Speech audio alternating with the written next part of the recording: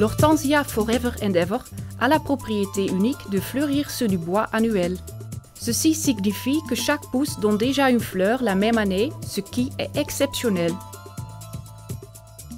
Tous les autres hortensias forment en effet à l'automne un bourgeon à fleurs sur le vieux bois. Celui-ci se développe au printemps et donne habituellement une fleur au cours de l'été. Toutefois, si ces hortensias sont taillées, la fleur est elle aussi éliminée? Le gel a le même effet. Le bourgeon à fleurs peut geler, ce qui se traduit chez l'hortensia traditionnelle par toute une année sans floraison. Les hortensias de Forever and Ever ne connaissent pas ce problème. Les fleurs apparaissent sur les tiges qui poussent au printemps. Pratiquement chaque tige donne donc une fleur la même année. La taille de l'hortensia Forever and Ever est ainsi beaucoup simplifiée. Il est possible de tailler l'hortensia Forever and dès le début de l'automne. La meilleure période pour la taille est néanmoins à la fin de l'hiver, juste avant le début de la nouvelle phase de croissance.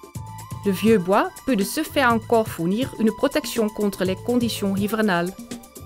Les conseils de Forever and Ever pour la taille sont simples et clairs. Pour conserver un buisson compact, rabattez tous les tiges à une hauteur d'environ 15 cm au-dessus du sol. Au printemps, la plante bourgeonne alors à nouveau pour une floraison abondante. Bien entendu, la taille n'est pas toujours nécessaire.